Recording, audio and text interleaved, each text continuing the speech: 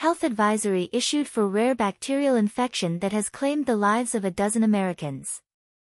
A health alert has been issued by the Centers for Disease Control and Prevention in response to recent reports of a fatal bacterial infection that thrives in warm coastal waters. The Vibrio vulnificus bacteria can be found in raw or undercooked seafood, saltwater, and brackish water. The most common way to become infected is when an open wound comes into contact with Vibrio bacteria in water. At least a dozen people have died from the infection across the country this year.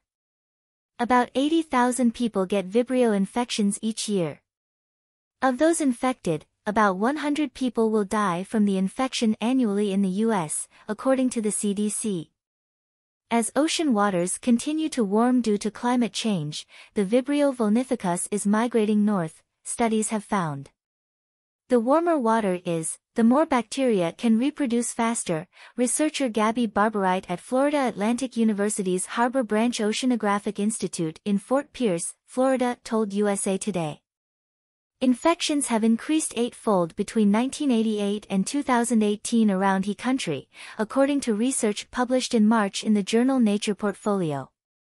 The bacteria and infections are spreading northwards up the east coast at a rate of about 30 miles a year, researchers share. Cases used to be concentrated almost exclusively in the Gulf of Mexico in the southern United States, Dr. William Schaffner, an infectious disease expert at Vanderbilt University, told USA Today earlier this year. Vibrio vulnificus is actually always in water, Manisha Juthani, the commissioner of the Connecticut Department of Public Health, said during a news conference Monday.